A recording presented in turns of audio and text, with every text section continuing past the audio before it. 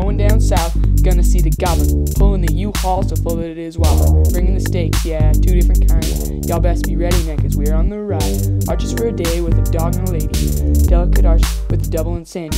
French toast sausage, hash browns and berries. Wilson got his call, he's gonna be a missionary. Sand.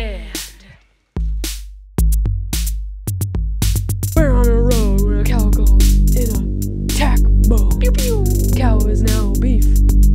Probably hurt its teeth. Ow. Everyone is smelly and dry.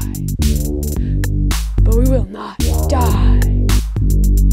Cause we hit a cow. Moo! Dude, it's a goblin. Where?